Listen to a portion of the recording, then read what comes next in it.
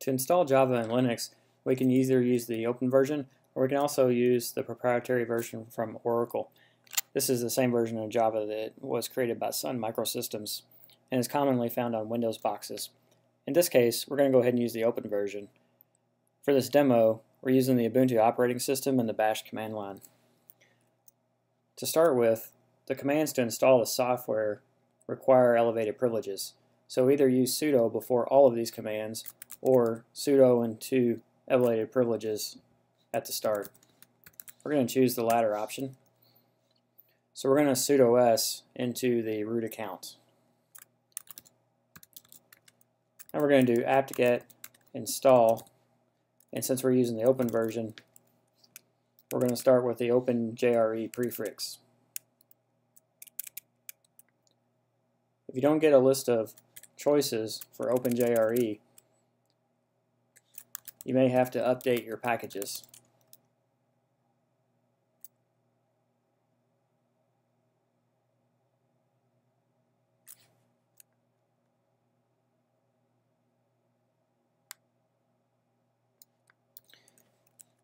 So we did an apt-get update to go out to the internet and download a list of available software for our package installation system aptitude. If you're using a Red Hat based system, notice that this is going to be the Yum program.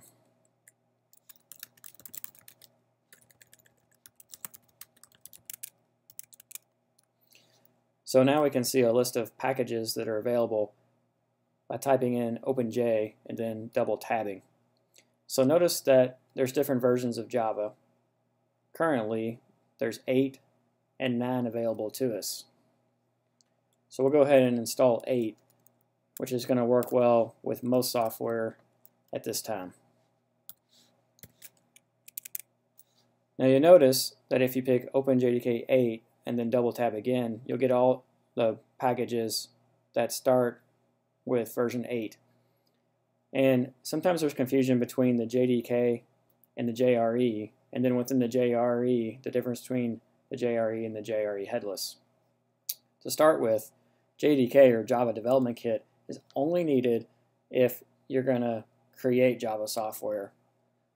If you're going to compile Java software, for example, if you're using Eclipse to develop software, you're going to need the OpenJDK. Another common reason is, is maybe you're going to use the Android development kit. If you're just going to run Java programs, you just need the JRE or the Java runtime. So we'll start with that. Now the difference between the JRE and the JRE headless has to do with whether or not the Java programs you're going to run require graphical user interface. If these Java programs are just going to run on the command line, then you can use the JRE headless. But if you believe you're going to run software that's going to need graphics, then you need to install just the JRE. So, for example, if we're going to run Burp Suite, a GUI tool that runs on Java, then we're going to need the JRE. So we'll go ahead and do this installation. Other packages will be installed. So go ahead and install all of them at the same time. Most of the time the package manager will simply do this automatically. So now we have the Java runtime environment and we can run Java software.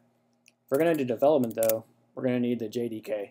And again, there's the JDK and the JDK headless, which has the exact same difference that we talked about earlier with the JRE. In our case, we're going to install the full JDK.